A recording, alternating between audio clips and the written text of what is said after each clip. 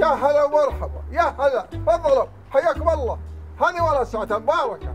يا هلا ويا مرحبا. حياكم الله. يا هلا يا هلا يا هلا يا هلا. ولدي يا مناور. لبيه يبا. انت تشوف اللي اشوفه؟ إي والله إني أشوفه. هذا أبو عامر عزم له رياجيل ولا عزمنا.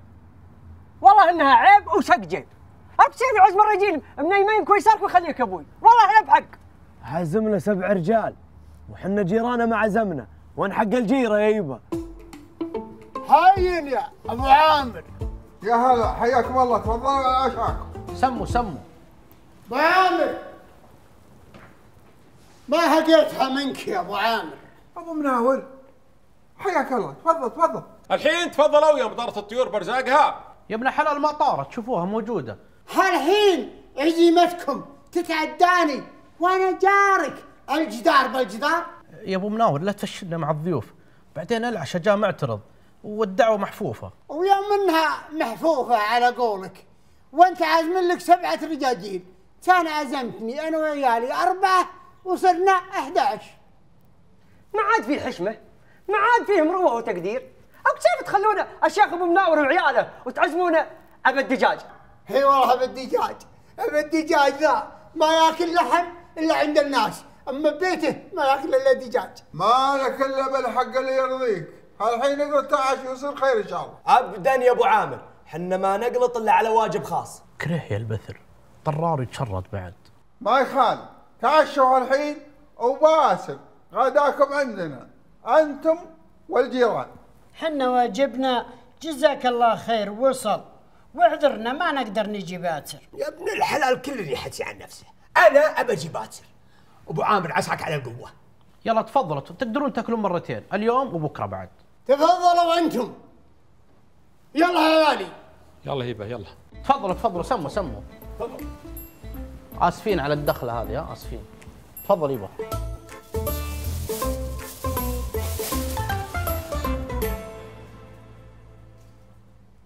أفا. خير إن شاء الله. أنا أبو مناور أنا وعيالي تعزمنا على عظيمات وغيرنا تعزمهم على مفاطيح ها؟ لحم. لحم يا أبو مناور ما تشوف. لحم وبلدي ولباني بعد. الشيخ أبو مناور تقطع اللحم ثلاجة؟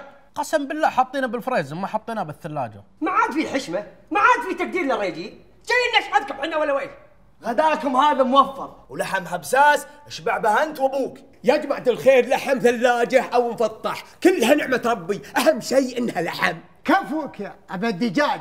كل من لحم الثلاجة. أقول أنا أشهد إن المراجل سايدة؟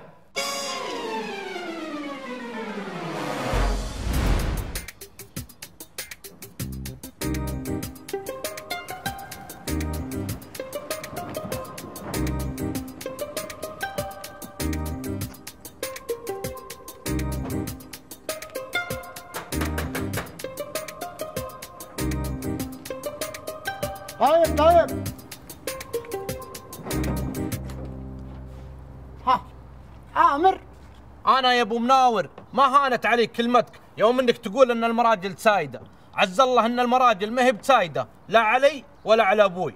وهذه أربع خرفان الكل واحد منكم خروف واستروا ما وجهت. كفو كفو يا أنطح كفو يا عامر. والله إنك شيخ ولد شيخ.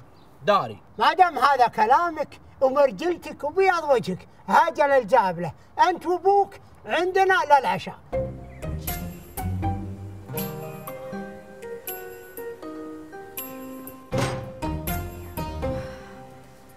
إيه يا زين هالريحة. بشري ها. اسمعي مثل ما قلت لك. كل ذبيحة في قدر. ولا تنسين تطبخين الرز بمرقة اللحم. ماني مقصرة يا أبو مناور؟ بس الحين يوم انك تبي تذبح أربع ذبايح ورا ما وديتنا المطبخ ها؟ اوديه للمطبخ ودينا إياه. على الأقل كان خليتني أطبخ واحدة لضيوفك والباقي حطيتهم بالثلاجة. وشو له هالاسراف ها؟ لا معاصي وألف معاصي أنا بطبخ الأربعة كلهن ويشوفونهم الضيوف وغير الضيوف. أنا ما بيحدني ينقطع علي أنا خاف من النقاده أخ الله يصبرني الله يصبرني عليك. أقول اطبخي بس وأنت ساكتة ولا يكثر حكيت وقرقت دلع حريم على آخر الزمن.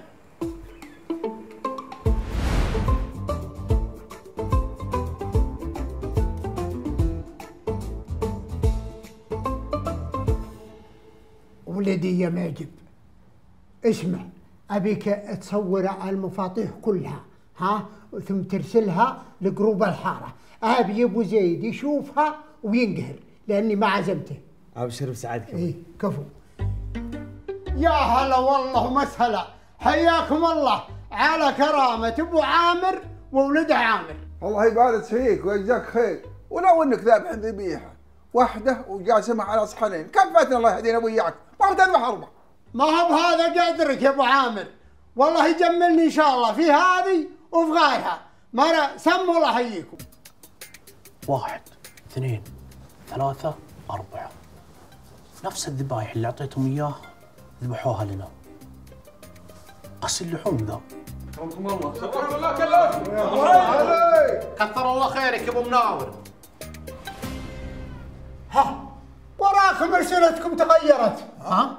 طلعوا ألسنتكم وشوف طلعوها ها. حتى أنت لسانك طلعه. لسانك أزرق.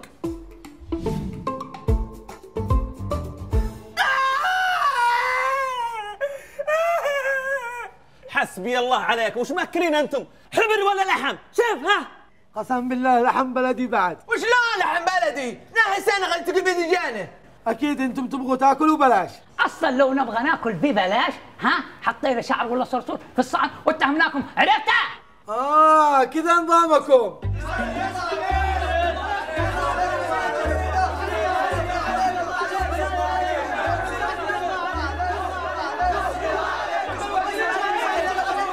أركضوا يا جماعة أركضوا يا جماعة. وش رأيك الحين؟ كل ذولا ودهم يأكلون ببلاش كل ذولا يكذبون وش ماكلين أنتم؟ وأنتم وش ماكلين؟ دكتور جعفر ما الذي يحدث بالضبط؟ الخرفيت ده مرض جديد مصنف من قبل منظمة الصحة العالمية وهو بيصيب الخرفان. وبالمناسبة هو عبارة عن فيروس بيصيب اللحوم والشحوم اللي بندسم بيها شواربنا.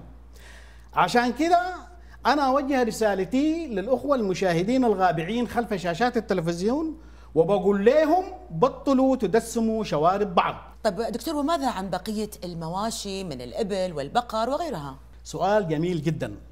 الخرفيت ده بيصيب جميع اللحوم الحمراء غاطبة. عشان كده أنا ما داير ليه أي زول يأكل لحوم حمراء. ما تخلوكم على اللحوم البيضاء. آي!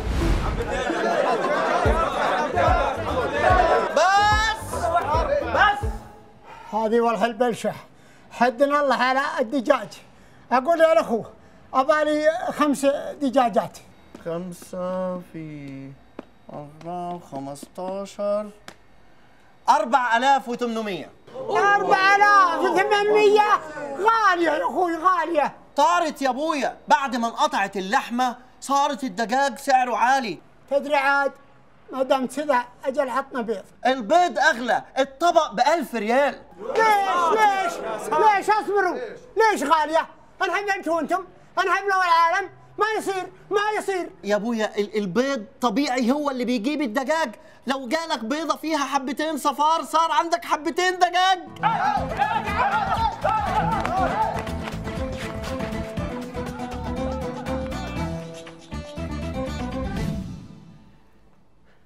خذي يا مرة.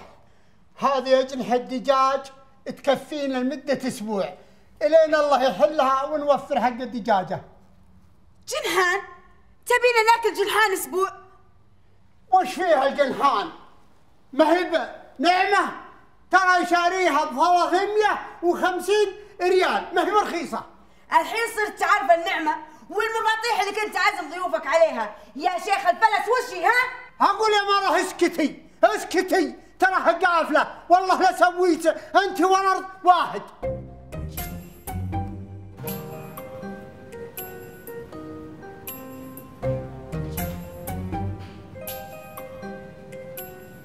اتفضل. شوفوا يا جماعة الحين الطبيب حيجي ويشرح لكم طريقة العلاج. وش عندك أنت مدعي لسانك؟ عندك أحد؟